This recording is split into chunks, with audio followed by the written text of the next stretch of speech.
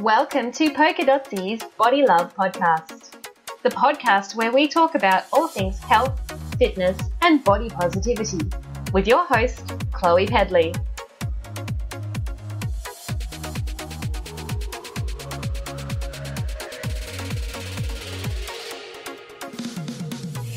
Thank you so much for tuning in. I am chatting with Jodie Arnot today, and I'm super excited about this because Jodie is another one of my heroes, and I am getting to talk to some awesome people. Jodie is the director of multi award winning Healthy Balance Fitness and is the co founder of the Moderation Movement. She's almost ready to celebrate 20 years in the fitness industry. During that time, Jodie has enjoyed many roles, including old school aerobics instruction, which by the way, we're going to talk about in a minute, gym management, personal training, group training, running coaching, coaching and lecturing in Cert 3 and 4 in fitness. She is now focusing on how our body image affects our relationship with movement and presents to fitness professionals, parents, students, and the general public on how they can have a more peaceful relationship with physical activity and their own bodies. She works with the Butterfly Foundation and is in her final year of her Masters in Counseling at Monash University. Jodie, you are a powerhouse woman. Like, that is an impressive resume, and I am so excited to have you on the show today. Thank you for joining us. Thanks, Chloe. So excited to be here. Yay!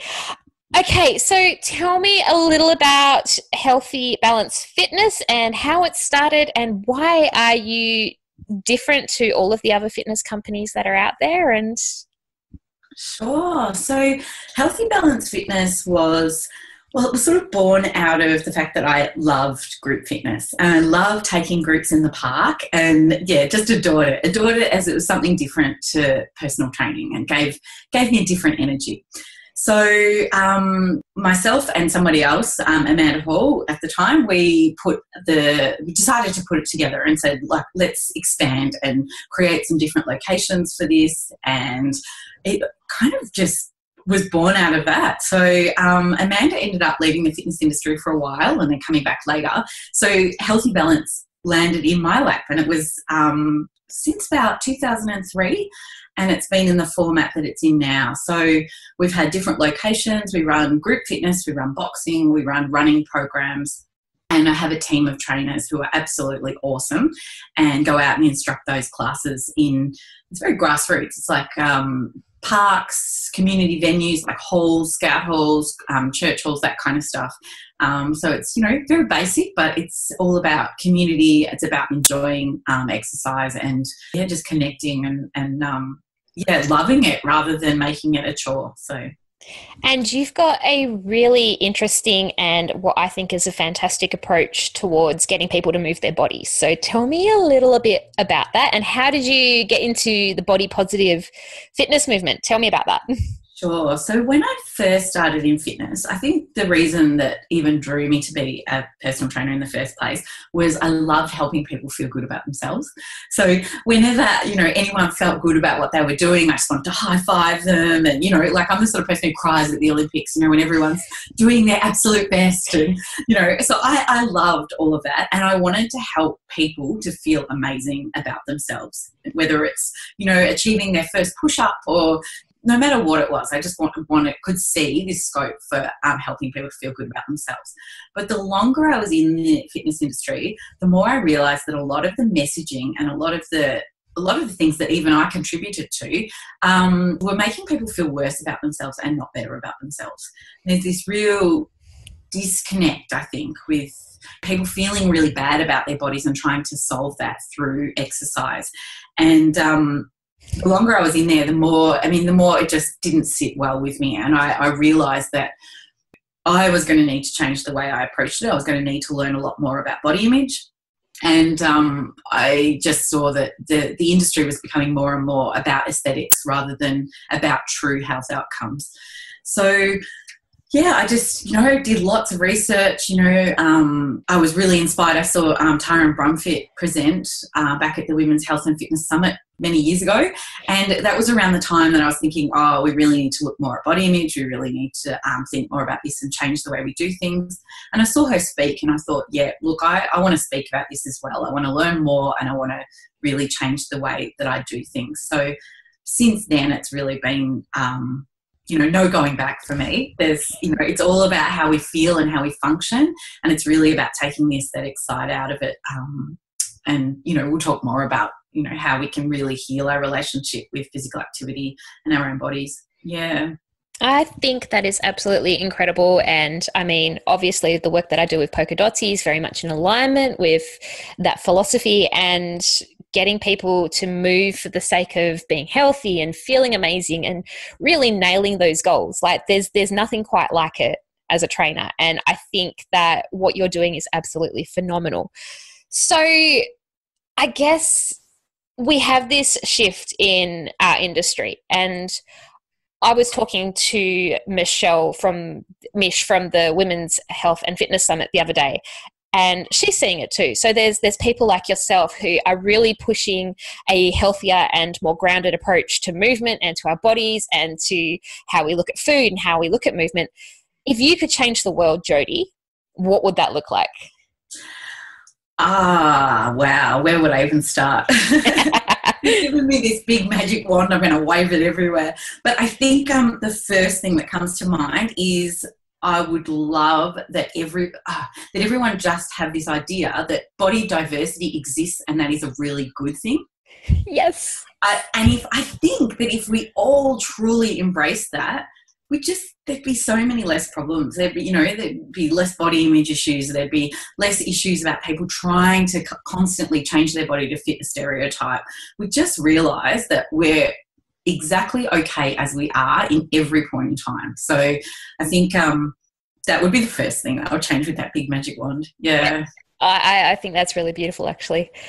And you've, you've sort of touched on this um, changing people's relationship with movement tell me about that because wow. this is really exciting for me like this this is awesome so yeah look I guess, I guess the, the best way to look at it is to maybe give you some six tips, um, give people, um, and we'll go through those. But some main tips. Um, so, part of what I do with moderation movement is that we talk about intuitive movement. And intuitive movement is different to you know workouts or exercise in that it's much more looking inside for your body, for your own needs and signals, rather than trying to stick to external rules and ideas about what exercise should be.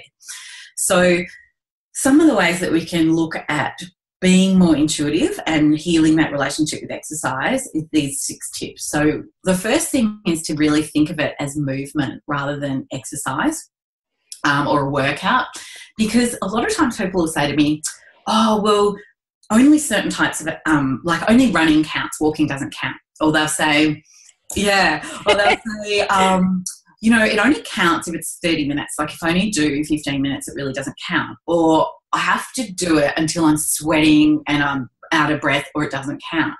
Now, this idea of it not counting, I think, well, count towards what? And a lot of times people will go, oh, I'm not really sure. But then when we when we pare it down, they sort of say, well, count towards burning calories or count towards ah. changing my body or count, count towards, and it usually comes back to sort of a diet type thing. Mm. So what I like people to, first of all, the first tip is to really think of it as movement rather than exercise or a workout because all movement counts towards our health. All movement. Absolutely. Absolutely.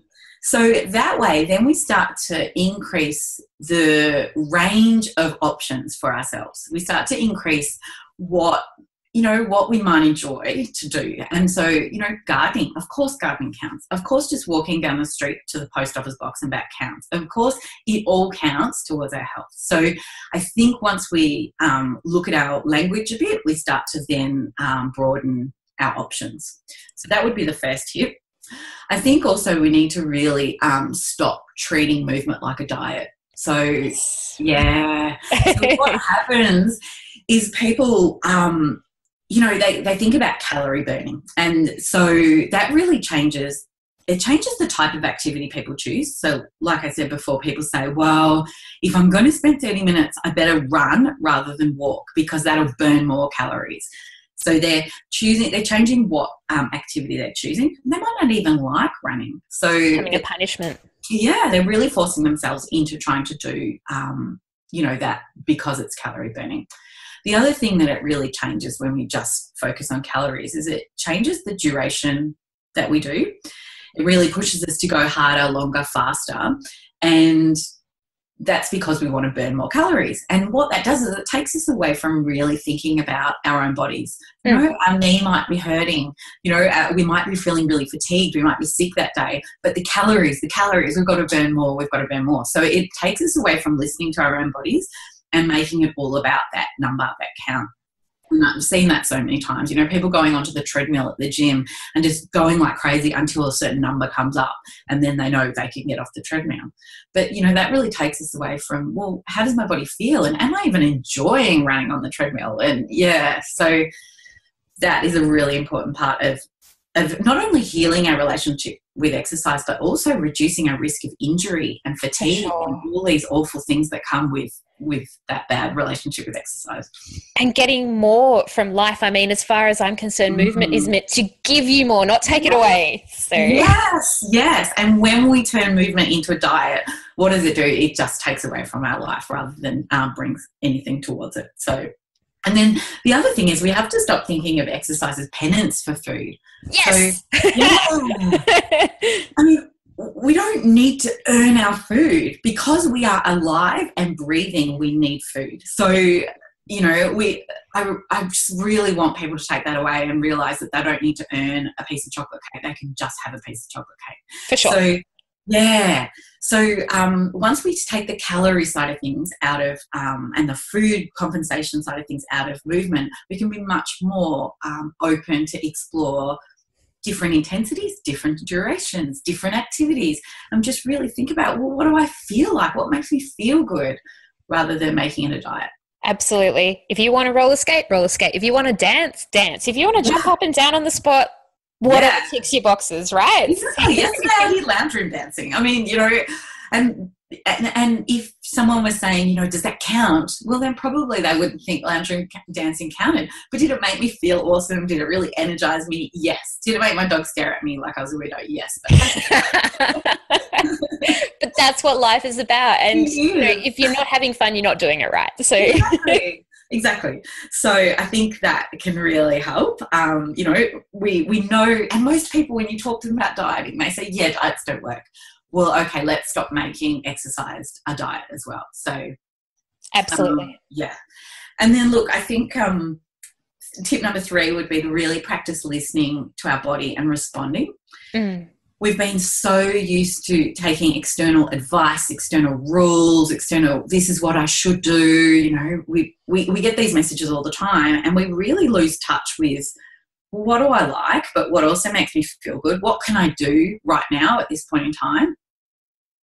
Which uh, is, yep, we're still. If we can really tune in to our bodies, and this is part of being mindful as well, it's really tune in to, well, how do I feel today? Do I have lots of energy? Do I feel really stiff? Do I have any injuries? Am I feeling unwell? Do I have lots of time? Am I feeling stressed?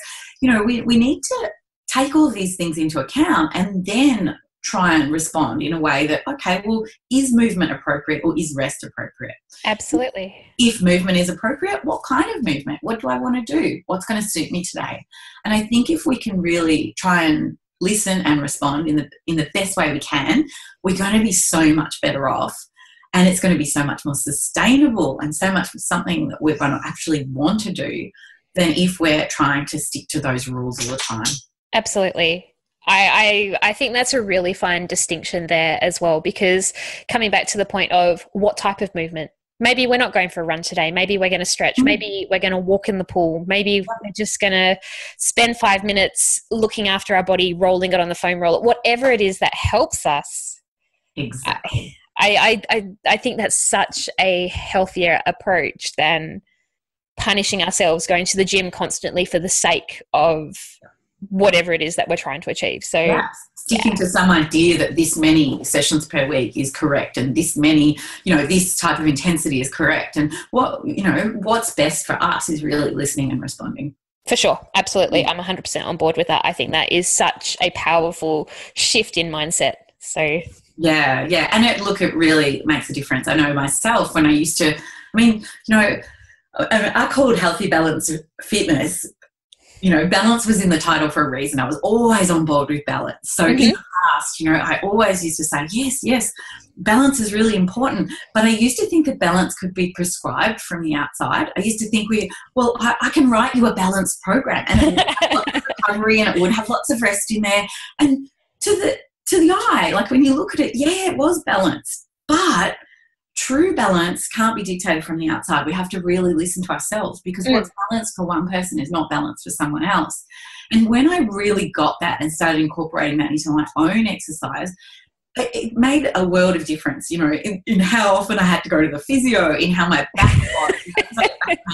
my back was so much better. I didn't have as many injuries. I was just, you know, so much better off when I wasn't doing this external idea of balance, which was still, you know, what someone would consider a balanced program, but it wasn't listening to my own body. Absolutely. Healthy balanced fitness saves you money. yeah. So, yeah. So it's about knowing that balance can't be dictated from the outside. So Absolutely. let's listen more. But yeah, so tip number four would be to set goals that have absolutely nothing to do with appearance change or weight. Ooh. That, yeah.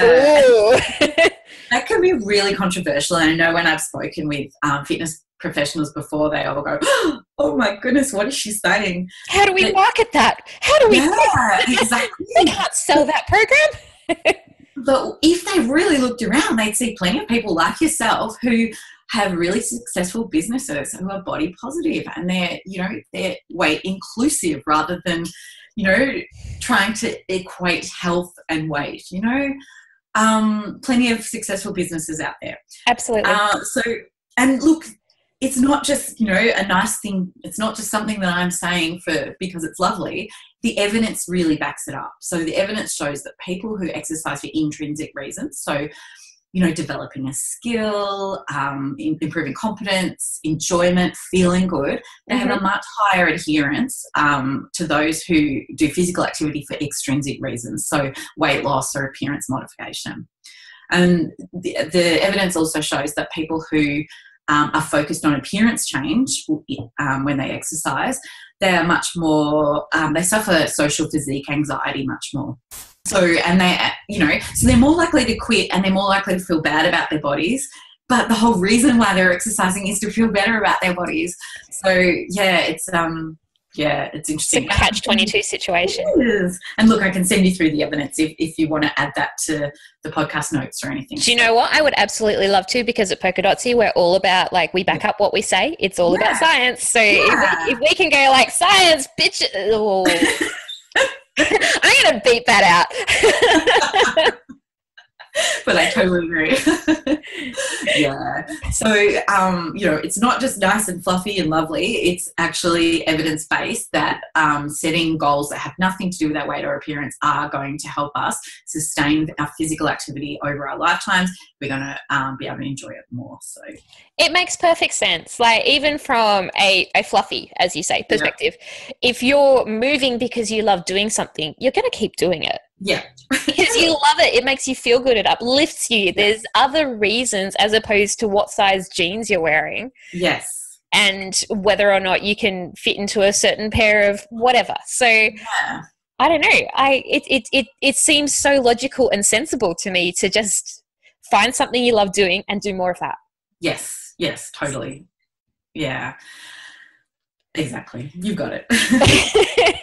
and for the personal trainers out there, this is so easy to teach. It's so easy to help your clients achieve. It's it's not something that you have to be afraid of. Like as as much as it might seem more simple to market a, a summer shred program, wouldn't it be better if you had your clients for life doing something that they absolutely love doing and helping them feel amazing about themselves? Yeah, and that they're actually going to sustain because we know that summer shred program. That, oh, yikes! Even if people do um, actually, you know, lose weight, they're you know the evidence shows us that they're likely to put it on and more. Um, and it's just a matter of when. So mm. yeah, and look, we know that there are there are benefits, uh, immediate benefits to one exercise session, which is mood. So we can boost our mood in one session of um, physical activity.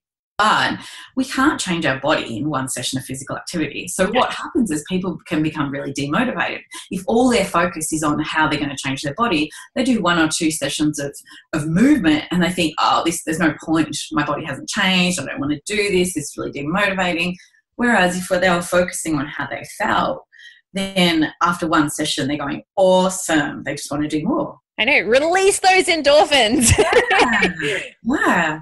So, you know, even as a fitness professional, there's so much you can do with that, like really focusing on those immediate benefits for clients rather than, you know, and just steering away from the from the weight and appearance changes. And you, you can do that. You just you can role model that so easily in class by what you talk about and what what benefits and, and improvements that you point out and, and commend people for. Instead Absolutely. of making it about weight or appearance you just make it about all these other amazing things that the clients have achieved. I know. I know. Hey look at you. There is no way that you would have been able to run that hill last week. High fives that's awesome. What an achievement. Yeah. Yeah. Exactly. or, check it out. Like that weight is phenomenal. Well done you. Look how far you've come yeah. Or how are you feeling chasing around after your kids? Have you got more energy? Yeah. Is, is that cool? Like, are you getting better sleep? There are so many, like, an infinite spectrum of reasons to move. Yeah. Yeah. And, and those reasons will happen quite quickly, like those benefits will happen quite quickly. And um, yeah, I, I just, yeah, I think there's, you know, if we keep making exercise about chiseling our bodies and appearance change, we're really I don't know, we're underselling it. We're really just, we're, it's the wrong focus. Yeah. yeah. yeah. The other thing, and we've touched on this a few times, so point number five is to choose activities you enjoy. Yes. Like, it's a no-brainer, right? We, nobody wants to be forced to do punishment, you know, to do things they hate. But there are so many people out there doing that because they think that that's what they should do to burn the calories or that's what they should do because that's you know the, the quickest way to get fit or you know that's the latest thing. But really just you know choosing what we enjoy is going to bring so much to our lives. What do you enjoy doing? Like what's what's your favorite way to ah. move do you know what? My favorite way to move is walking. And back when i first started as a trainer i used to be embarrassed to say that because back then, you know, everyone, I, I used to sort of think, oh no, but, you know, it doesn't count. And, you know, should, I should be more hardcore because I'm a trainer. And, and I know there's a lot of other fitness professionals who hear that and something, it'll strike a chord with them. They'll go, oh yeah, I thought I was meant to be super hardcore as well because I'm a personal trainer. But it's like, I love walking and I've, I've, got a dog and we walk everywhere together and that's my absolute favourite thing to do. It's just walking. And then I also enjoy running as well and I run with my dog and I enjoy dancing, especially lounge room dancing, dancing. And I've done all different kinds of dancing. I've done belly dancing and salsa and I've done hula hoop and I've done, you know, all different kinds of body kind of movement stuff and um, all very fun. So, but yeah, most mostly what I do is walking and I love it and that's incredibly awesome. Like, yeah. uh, I pet bugbear of mine is the burnout that personal trainers face from thinking that they have to be hardcore, and it yeah. breaks them. It yeah. it literally breaks them. Yeah, totally. So, uh, we are on average we last eighteen months in this industry. Yes, and I anecdotally would say that it, a lot of it has to do with burnout and injuries and just not being able to sustain the hardcore mentality of what's your excuse yes so totally. it's living up to this stereotype basically you look at a fitspo meme and yeah. that's what a, a, fitness trainer feels like that they have to live up to yeah. and it's just ridiculous pressure and i don't when i look around all the best trainers are not those people mm people that we employ at Healthy Balance Fitness, they're the people who just love moving and love helping other people to love moving. And Which they, is so empowering. Like yeah. I, I just think that's awesome. So awesome. Yeah.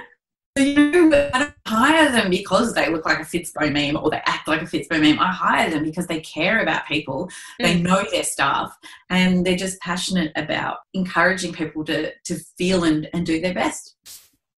Which, what more can you ask?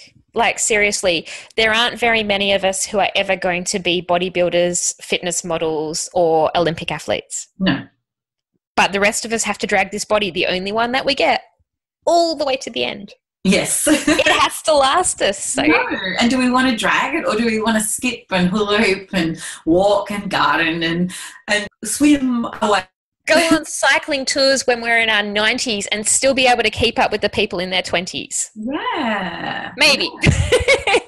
but it's all it's it's an aspirational goal. It's not unachievable. So yeah, it's just about doing what what we enjoy, but also doing what our bodies can do and what we enjoy, what we you know what what's appropriate for us at that any point in time. Yeah, it's just we need to think about it in a new way. For sure. Yeah, and so the last point that I come to is that I think we really need to reflect on this often that our fitness and our physical activity program doesn't define our worth. Oh my goodness! Now I'm not showing the video, but I totally just fist pumped there. I might publish this very privately. yeah, so we are all valuable, amazing, original human beings, whether we're active or not, whether yes. we are, and you know, and healthy. We've got this idea of being healthy is good. I mean, first of all, it's very complex. What is healthy? But whether we are in good health or not, we are really valuable as human beings. We are enough exactly as we are right now. So we don't have to yes. do a certain exercise program to prove that. We don't have to do a certain, we don't have to run a marathon to prove no. that. No. We don't have to do a certain number of burpees or push ups to prove that. No. no. No. And even for people who choose or cannot um, do any physical activity, they are worthy exactly as they are right now. So, yes. yeah. And I think as fitness professionals, we need to really remind ourselves of that Yes, yes, absolutely. I think it's something that we all need to take intrinsically, but it's also something that we need to remind our clients of. It's something that we need to remind everyone that we meet because, yeah, yeah great, it's awesome if you can do burpees, but that has nothing to do with you as a person. Yeah, yeah at and all. When, yeah, and when people get a bit confused and it gets self worth gets tied up in our physical achievements, our you know fitness achievements, that's when I see things go off the rail. That's when we start seeing exercise dependence. That's when we start seeing people overtraining because they no matter what they've got to make that marathon. It's like yeah. Well, maybe your body's telling you you're not ready for the marathon this time, or maybe your body's telling you that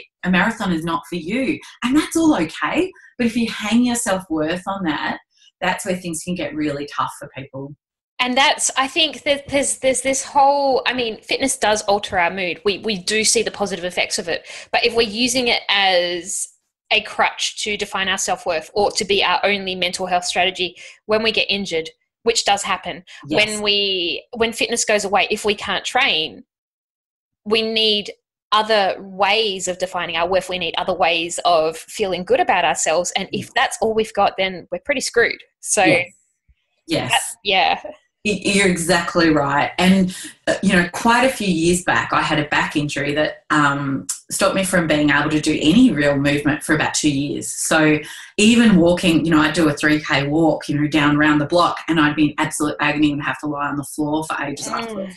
So it really, you know, here I was, a running coach and a personal trainer who couldn't actually do much movement at all. And I, you know, I love movement, couldn't do it, had to take some time off. And it took me a long time to really just listen to my body and enable, enable myself to do that because I kept trying to get back into it, get back into it because I loved it, but also because I felt like, well, how can a running coach be a running coach if I can't even run? So I had this idea of my worth as a human being was tied around being a running coach, being a fitness professional, and doing really well at that, and being a runner. And it was only, I had to really look at all of that and say, you know, Jodie is not just a runner. You know, part of what I do is fitness training, part of what I do is running, but I am not a runner, I'm Jodie. Yep. So, yeah, and it, that, that, you know, took a lot of, a lot of um, really looking within myself and, and thinking about that. And it's only now that it's like, okay, well, if I couldn't run for a while, I'd still be perfectly okay with who I am as a person. Yeah. I think there'll be a lot of people tuning in at the moment who that's really resonating with because we are almost conditioned to define ourselves through our achievements and define ourselves through what we do yeah. as opposed to who we are. Yeah. And especially when we're chasing PBs and when we're chasing that extra distance and we go from 3Ks to 5Ks to 10Ks to a half to a marathon, if we don't knock out that half or that 10k or even that marathon we're no less valuable no, exactly.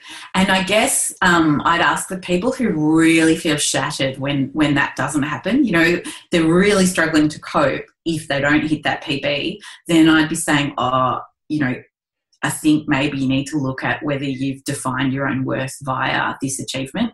Because yes, we will get disappointed. Yes, it's awesome to have goals, but disappointment and completely shattered is really different. Mm. Um, it's important to, to look at that and start thinking, okay, well, who am I aside from all these external things? You know, who am I? And it's not an easy thing. It's not like, you know, you ask the question and there's the answer. Yes. It's pondering, lots of pondering.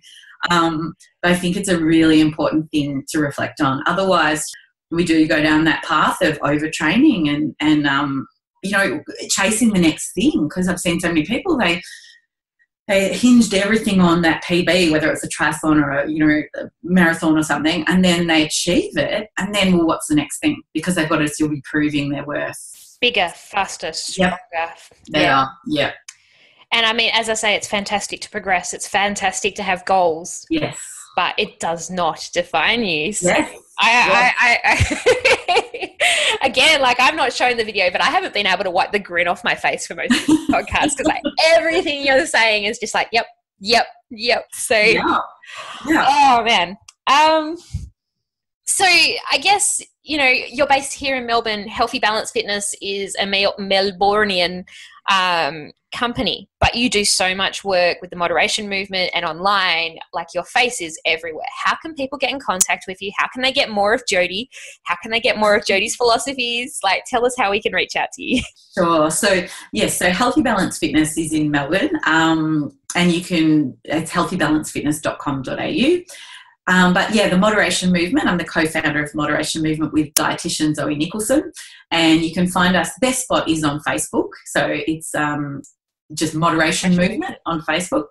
And um, yeah, so we, we post a lot of all of this about movement. We post about intuitive eating, about you know getting more in touch with our bodies, about body image, about you know embracing diversity, and um, yeah. So you know, probably the Facebook's the best way to contact. Um, but we also have a website and we've got a couple of ebooks as well, one on intuitive movement and one on intuitive eating as well. That's on the website, but you can go through Facebook to find that link, and yeah, on um, Instagram as well. So yeah. Which for any Polkadotsi fans who are actually listening to this, you need to go and follow the moderation movement. You need to go and follow Healthy Balance Fitness because these wonderful, amazing people walk the talk. And I mean, what we do at Polkadotsi is a little different, but I, I, I, often sit at the feet and just worship what Jodie and oh. Zoe do. Like it's it's incredible, and they're making such a difference to fitness, and they're making such a difference in the Bopo movement, and it's it's just so cool. So, yes. Well, thank you so much, Chloe. It's awesome, and it's always great to connect with people with um, similar values and similar approach. I, I get so excited. They say never meet your heroes, but I'm just like, nah, meet them all. um, we're roller skating together. we, we need to do this. We need to yeah. do this. yeah. All right, so you've got a really cool venture that you're doing at the moment, teaching fitness professionals about intuitive movement and some of the things that you're doing with Healthy Balance Fitness. Can you tell me a little bit about that? Yeah, so one of the things that I think is really important for fitness professionals to learn about is making language more inclusive. And I think a lot of the language that's used in fitness is very body shaming. It's very, um, it takes people away from being intuitive with their own movement and their own bodies. So um, I put together a presentation that is for fitness professionals about what we can do to change our language and the evidence behind why we might do that as well. Um, and you know the risk factors, and it's just just looking at how we can all be a more intuitive movement type trainer. So, if anyone's interested, if they've got a team of um, trainers that they'd like me to chat with, please get in touch via the website. So, I'd love to do that. That's absolutely awesome. And are you doing presentations at gym or group fitness um, organizations? Yeah. So, yeah. So, either, you know, anywhere Okay. council facilities, you know, um, gyms, whatever. You know, if there's a group of fitness professionals who are interested in learning more about that, that would be great. And it's certainly not everyone's ready to hear the um, to hear that message. No, I, I, I can understand that, but I also think that the time is nigh and there is a shift. There are amazing people pushing this, and do you know what? I, I literally think you're at the grassroots level of changing the world. So I hope so. Let's let's wave our magic wands everywhere, Chloe. for sure. All right, thank you so much for joining us on the show, Jodie. It has been an absolute blast talking to you. I will include all of your links in the transcript. Um, and yeah, for those of you who are listening along, make sure you check out Healthy Balance Fitness on Facebook and Instagram and the Moderation Movement on Facebook and Instagram. Jodie's doing amazing things. Thank you so much, Chloe. It's been a pleasure. My pleasure.